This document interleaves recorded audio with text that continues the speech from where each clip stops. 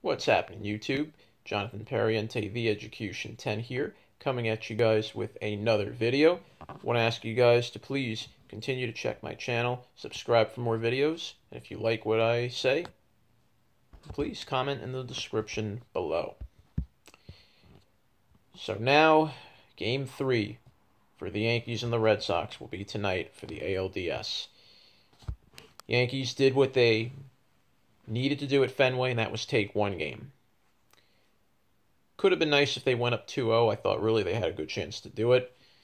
But a split is a split. You take it. And now the Yankees have two in a row at the Yankee Stadium, beginning with tonight. Now, tonight's matchup was supposed to be Rick Porcello against Luis Severino. But the Red Sox made a little change, and they're starting Nathan Eovaldi instead of Porcello. So they're going to push Porcello to game four against CC Sabathia. Sort of can understand where that move came from. Porcello did pitch game one out of the pen.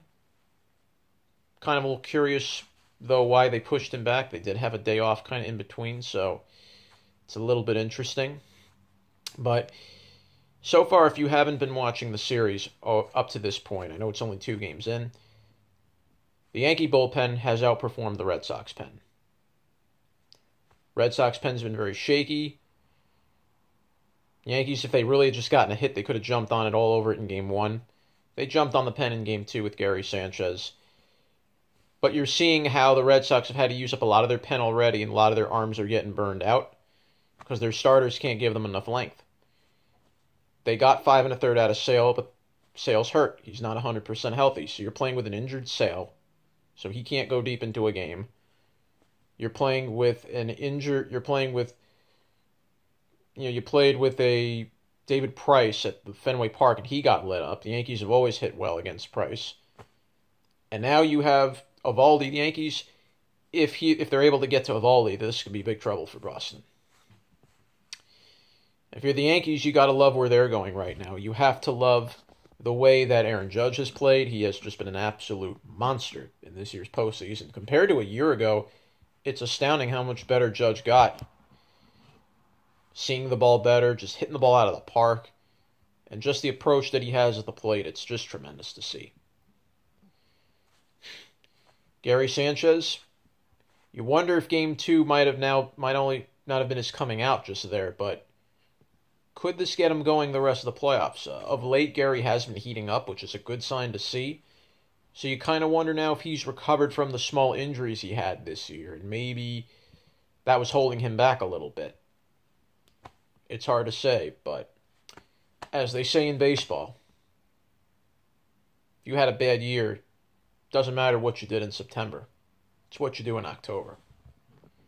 And if Gary Sanchez can get things going, you got to love where the Yanks will be heading. If Gary gets his bat going again, and if he plays well behind the plate, which up to really for the most part now, he's played okay behind the plate. We haven't had any. He hasn't had pass balls with runners on base. He's kept that to a minimum. So you have to like the way up to this point, the way Gary's played behind the plate and how he's called the game. He's done his job. He has to keep that up for the rest of the series. That's going to be the big uh, that's going to be the big knock that we have to see. We have to see him do it for a whole series. so now at Yankee Stadium, you have to wonder how will the Yankees come out in this game? Severino was coming off a very impressive wild card game. He shut down Oakland through four innings, struck out seven. And even though he didn't go five or six innings, like you know, the Yankees were playing an all hands on deck game in the wild card. But an encouraging sign, Severino looked as good as he looked in the first half. What I saw in the Oakland game was the old Severino. The guy that attacked hitters, blew them away with his high cheese. He wasn't afraid to challenge hitters. That was Severino when he was on. So now you wonder if we'll get that Severino for the rest of the playoffs, I'm really hoping so.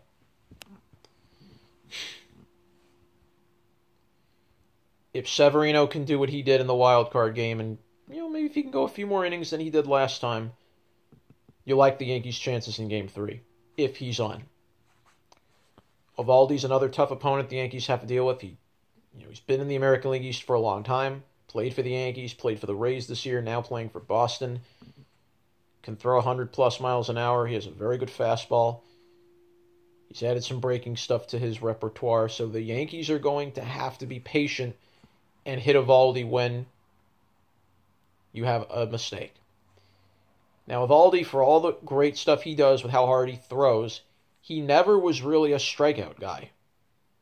It's kind of weird. You're a guy that throws hard, but you haven't been able to get consistently strikeouts. So if the Yankees can hit a mistake on his on any of his straight fastballs, they have a really, really strong chance to take Game Three, and knock him out of the game early. Yankees will possibly be getting Aaron Hicks back tonight, which is pretty big. Uh, Hicks is a very important part of their lineup. Can play the outfield extremely well, can cover a lot of ground. Not that the Yankees had to worry about it in game two. Brett Gardner admirably filled in fine for him, so I'm curious kind of where the Yankees will go. I'm, I'm curious if they'll just send Hicks back out there. He is still recovering from the hamstring, so you have to be a little careful. Maybe could see a maybe pinch hit, maybe. I don't know. But the Yankees at least have depth at their disposal, something Boston doesn't quite have. They had to send Steven Wright off their roster and put in Heath Hembree because of an injury.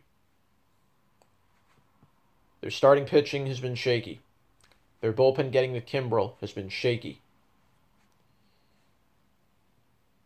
And the Yankees have done an okay job of attacking their lineup. They've done pretty good at making sure that Boston's lineup doesn't hurt them yet. You still got to be careful.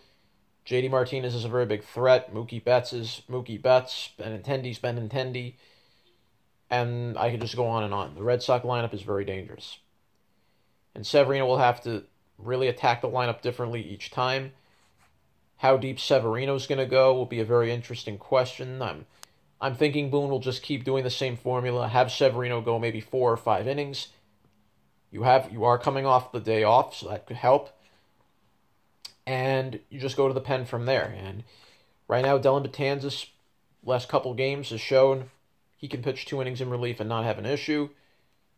You have Britton to set up in the eighth, and then you have Chapman, and Chapman looks pretty good. Chapman, I'll, you know, was worried what he was going to look like, but Chapman, Chapman is starting to get back to the old Chapman again. So that'll be good if you have him back and, and ready and healthy and you know, back to the old to the old Chapman that he used to be. So how the Yankees now will do in the rest of this series will depend on game 3. It's now a best of 3.